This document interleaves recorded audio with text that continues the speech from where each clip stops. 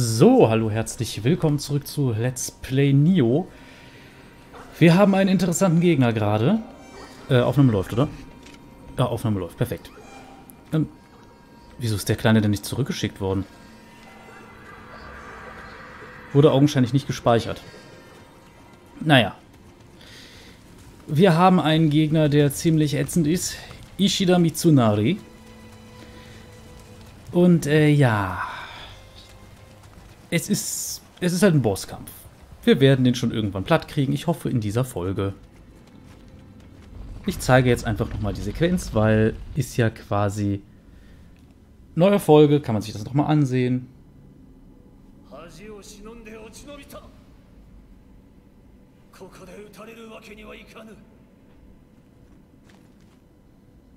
Kerry 殿の錬金の極意によって太閤秀吉様を復活させる 忠義による精錬の世の礎を。あんたにはせいぜい時間を稼いでもらうとしよう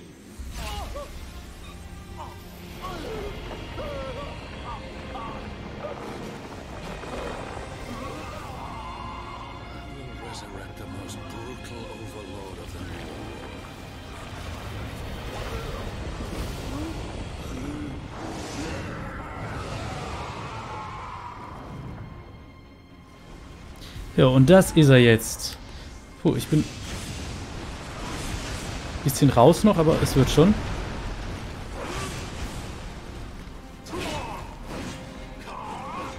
So. Kurz mich wieder an die Moves gewöhnen.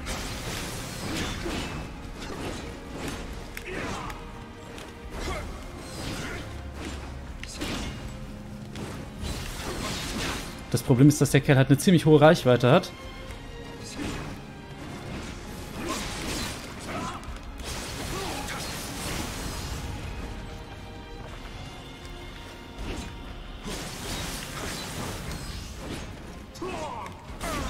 Aua.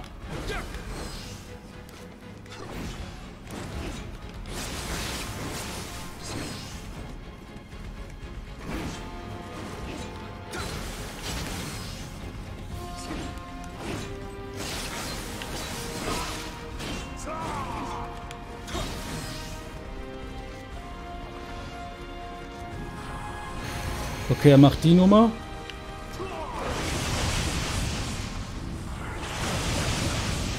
Jetzt wird's schwierig. Vor allem, weil er immer das gleiche macht, so wie es aussieht. Kacke, ich bin sowas von tot. Alter Schwede, der macht einen Schaden, der Kerl. Ich darf halt auch, wenn er diese, wenn er in die Phase 2 mit dem Wind wieder geht, darf ich eigentlich nicht weit weg von ihm bleiben, weil dann bombardiert er mich nur noch mit diesen Angriffen. Und das ist ja auch keine Lösung.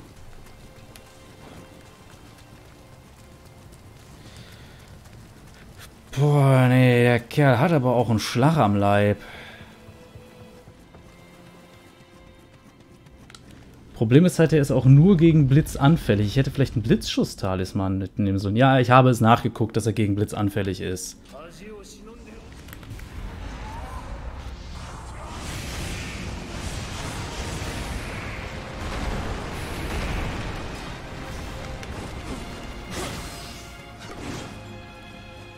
Schnell meine Schutzgeister wieder einsammeln.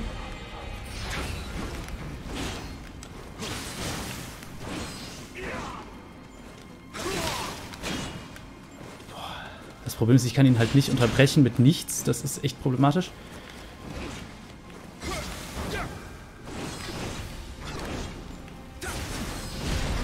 Was, das macht er schon in Phase 1? Das habe ich bisher noch gar nicht so erlebt. Ich dachte, das macht er erst ab Phase 2. Was war das denn? Aua.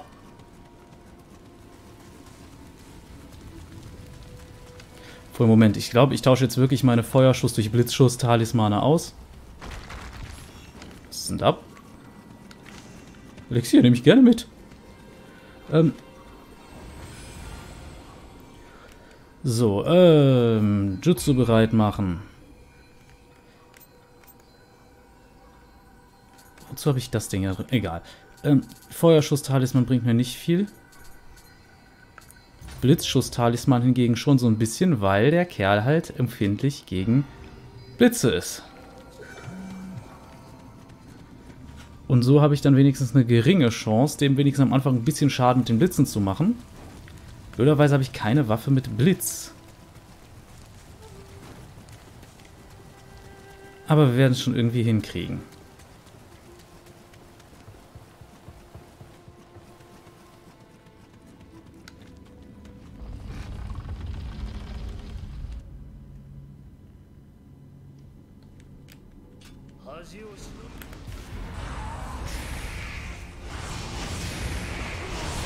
Ja, jetzt mit der letzten trifft er auf einmal wieder.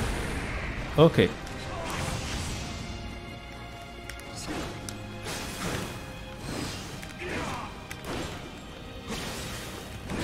Ich versuche mal ihn zu kontern. Hat nicht gut geklappt. Moment. Kann ich, glaube ich, nicht. Ich habe es jetzt ein paar Mal versucht, es hat nicht funktioniert, so gar nicht. Oh scheiße, ich habe meine Schutzgeister verloren. Na gut, jetzt sind sie wieder da, aber trotzdem. Das ist echt deprimierend. Aber wir kriegen es schon hin. Irgendwie wird das. Betonung liegt auf irgendwie. Ich frage mich vor allem, woran festgemacht wird, in welche Richtung der diese, diese Wirbelteile am Anfang feuert. Also weil das scheint immer sehr zufällig zu sein. Manchmal trifft er einen, manchmal nicht.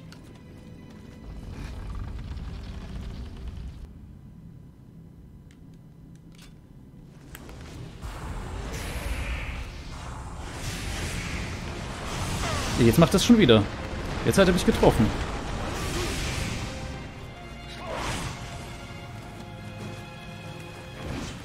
Problem ist halt auch der verdammte Wind-Debuff. Wow, der ist umgefallen.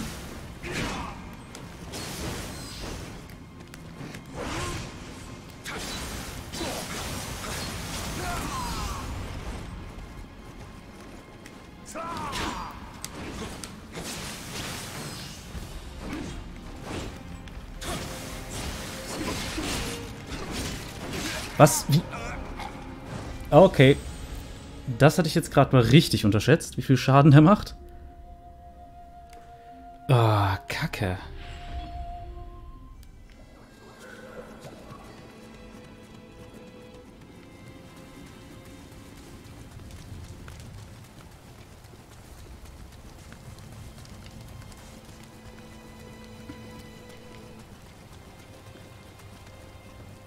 Also ich weiß, ich kriege auf jeden Fall sicher zwei Treffer mit dem Blitz-Talisman auf ihn drauf. Und dann... Naja. Muss ich ausweichen.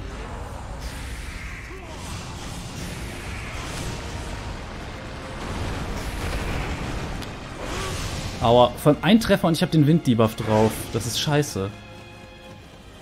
Lass mich wenigstens mal kurz meine Schutzgeister einsammeln.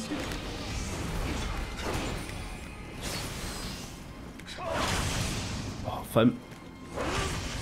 Den kann ich zwar blocken, aber ich kriege trotzdem Schaden. Und es bringt halt nichts auf Dauer. Wow. Wow, geile Sache. So.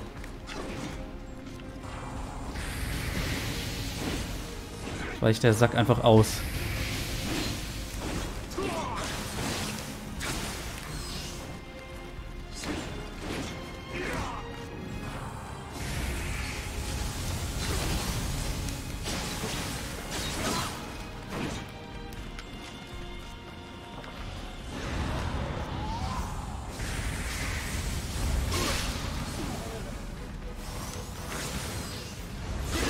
Boah, dieser Angriff ist ätzend.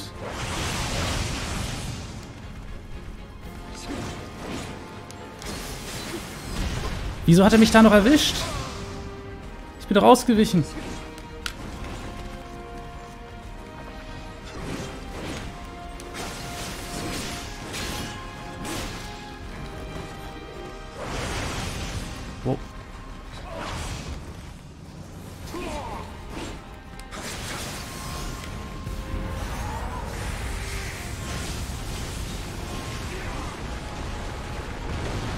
Ich habe keine Ahnung, was ich jetzt hier noch machen soll. Wow.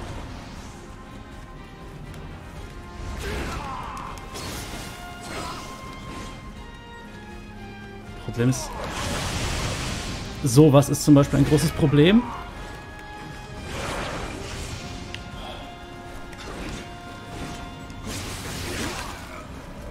Alter Schwede, diese Phase ist ja mal richtig ätzend. Du kommst halt nicht an ihn ran und vor allem er ging, nachdem er das zweite Mal seinen Schutzgeist verloren hat, extrem schnell wieder in diesen Modus zurück.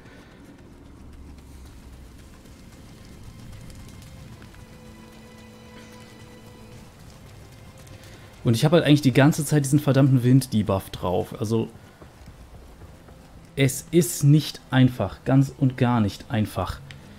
Ich habe nur kurz geschaut, wie lange die Folge eigentlich schon geht. Puh. Und beim ersten Mal habe ich noch gesagt, ach, der ist eigentlich ganz unmachbar.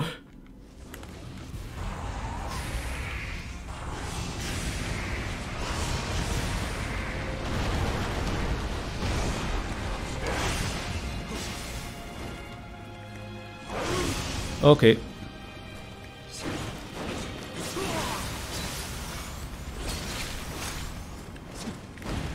Wow. Was? Natürlich. Das macht er einfach mal eben so mittendrin. Ich lebe noch? Oh, was? Ernsthaft? Da macht er das jetzt zum dritten Mal in der ersten Phase. Okay, da war jetzt RNG echt nicht auf meiner Seite.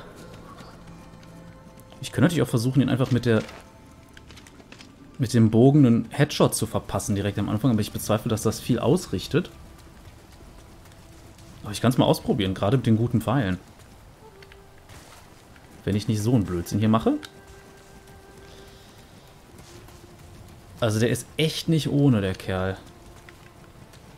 Aber es ist machbar, man kann ihn besiegen, es ist nur nicht einfach. Also klar, bei dem das Einfachste ist, versuch hinter ihn zu kommen. Nur, man hat schon so ein bisschen Schiss, mit ihm im Nahkampf zu stehen.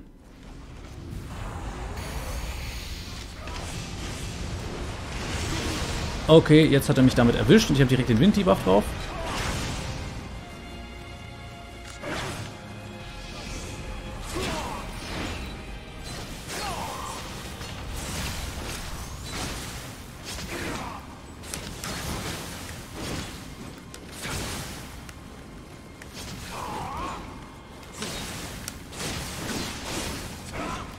Problem ist, du hast einmal schlechtes Timing und das ist ein richtig großes Problem.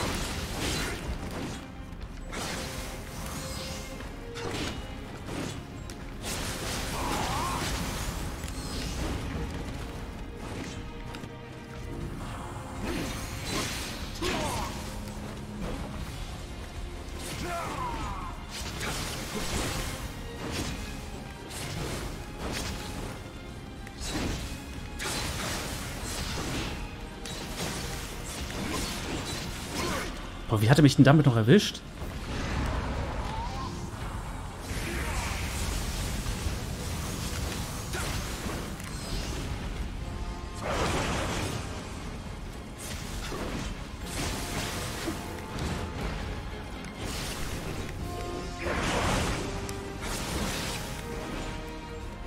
Komm weg von der Wand.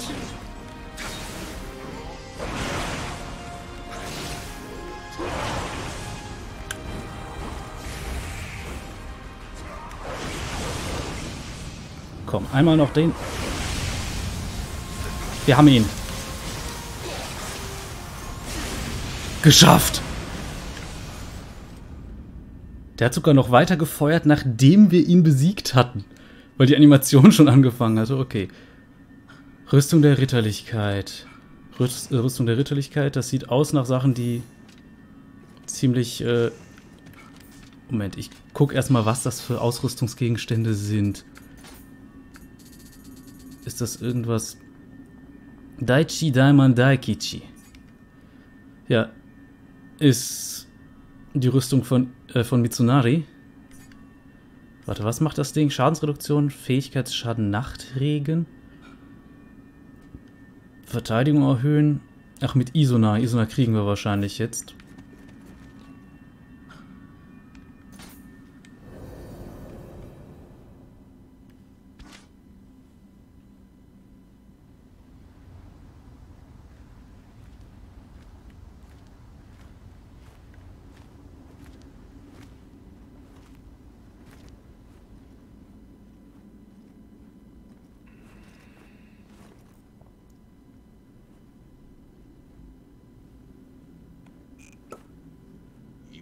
様の冷水これで三成殿も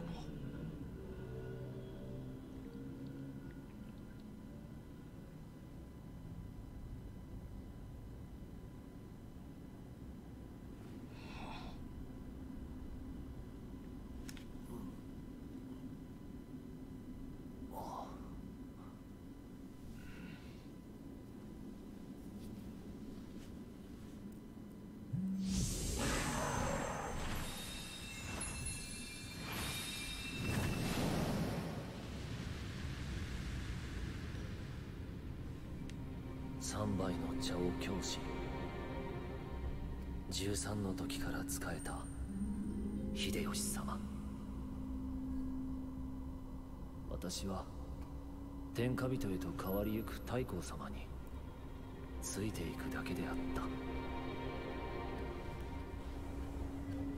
義を重んじ刀なき世を民と共に歩む。秀吉様の描きし美しき夢。いつしか私の夢となっていた。秀吉様亡き後その夢を汚す家康めを打てぬとは私が誤っておるのか。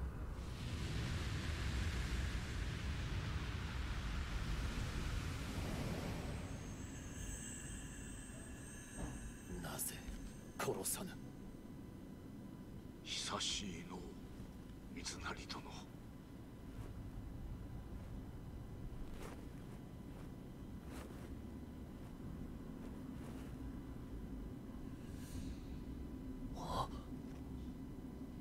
あなたは明智光秀殿。何故？そなたの忠義まことにあっぱれ。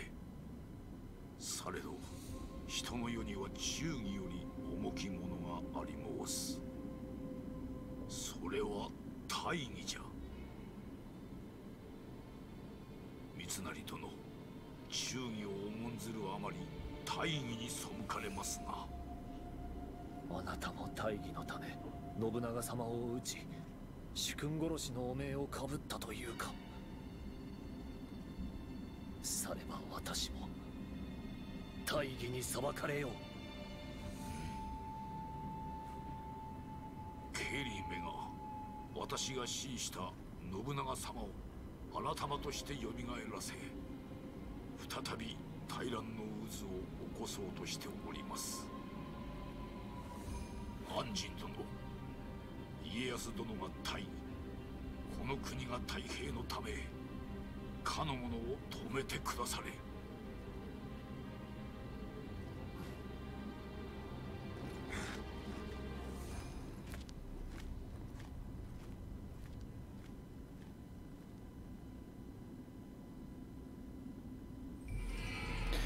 Besessen von Isona durch Geistteilung. Okay, interessanter Werdegang. Aber wir haben ein neues Ziel. Und jetzt definitiv erst noch ein paar Nebenmissionen. Ein entweihter heiliger Berg. Nachdem ich meinen Meister getötet habe, lebe ich nun noch, äh, nur noch weiter, um diesem Land endlich Frieden zu verhelfen. Sir Anjin, ich flehe dich an, halte Kelly auf und bereite diesem sinnlosen Krieg ein Ende. Die Mission Eine größere Harmonie wurde zum Dojo hinzugefügt. Zwielichtmission Böses in der Luft freigeschaltet. Mission und Zwielichtmission geändert. Dann werde ich jetzt erst einmal schauen, was wir denn so an Amrita-Erinnerungen gekriegt haben. Gedanken Amrita. Personen. Die Besiegten und treu über alles. Die Besiegten. Das Schicksal hat nur wenige angenehme Überraschungen für die in der Schlacht Besiegten. Die meisten Soldaten, die mit dem Leben davonkommen, finden ein anderes schreckliches Ende. Selbst wenn ein Mann versucht, vom Schlachtfeld zu kriechen, stehen die Chancen schlecht, dass er vom Feind unbemerkt bleibt. Es ist nur eine Frage der Zeit, bis die Sieger ihn finden, ihm all seine Habseligkeiten nehmen und seinen Kopf von seinem Körper trennen. Treue über alles. Ishida Jibunosho Mitsunari ist ein weiser und begabter Mann, der seinem Herrn, dem Fürsten Hideyoshi, schon, seit, äh, von, seit jungen, nee, schon von seit jungen Jahren an diente. Als erwachsener Mann mied er das Rampenlicht, um die Herrschaft Hideyoshis aus den Schatten heraus zu lenken. Obwohl ihm sein Hang zu schonungsloser Ehrlichkeit mehr Feinde als Verbündete einbrachte, sagen manche, dass die bedingungslose Treue gegenüber seinem Herrn und seine Hingabe für die Gerechtigkeit das Wesen eines wahren Samurai verkörpern. Hintergrund, jetzt haben wir hier Heiliger Berg, göttlicher Atem. Der Berg Ibuki wurde schon seit den Tagen, als die Götter auf der Erde wandelten, als heiliger Berg verehrt.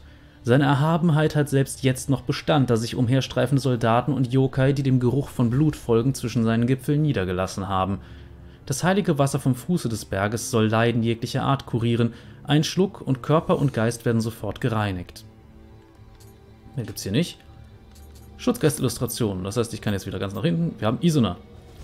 Das ist ein Fuchs tatsächlich.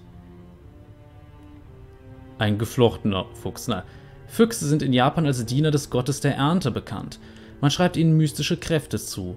Füchse, die über solche Kräfte, äh, Kräfte verfügen, sind, sind stolze Wesen und setzen ihre Macht daher nur selten für den Menschen ein. Wenn sie aber einen Menschen als Meister akzeptieren, sind sie ihm völlig treu ergeben. Isona sind da keine Ausnahme, wenn überhaupt gelten hier noch striktere Maßstäbe, wem ein Isona folgt. Ein Isona akzeptiert nur jemanden, der wie er stolz, fähig und dem eigenen Meister treu ergeben ist. Wollten wir Karajishi, ja das hatten wir schon alles. Geschichte von Nio kann ich mal kurz durchgehen. Da haben wir jetzt auch einfach nur Treu und Allgemeinwohl und Mitsunaris Verwandlung. Charakterverzeichnis. Das heißt, wir haben jetzt garantiert was für Mitsunari gekriegt. Nachdem seine Seite die Schlacht von Sekigahara verloren hatte, wurde Mitsunari von Kelly betrogen. Er wurde kurzzeitig zu einem Oni, aber durch die Reinigung mit dem geheiligten Wasser des Ibukiyama kam er wieder zu Sinn. Obwohl er von Kelly für dessen unmenschliches Ziel benutzt wurde, Amrita als Waffe einzusetzen, verlor Mitsunari nie sein Ziel aus den Augen. Eine schöne Welt, in der alle entsprechend ihrer Verantwortung lebten. Okay, ich würde aber sagen, dann mache ich jetzt hier einen Schnitt. Also einmal kurz speichern. Und wir sehen uns in der nächsten Folge wieder. Haben wir ihn erledigt. Also dann, ich hoffe, ihr hattet Spaß, das konstruktive Kritik, vielleicht ein Däumchen nach oben da und bis zum nächsten Mal bei Let's Play Neo. Cheerio!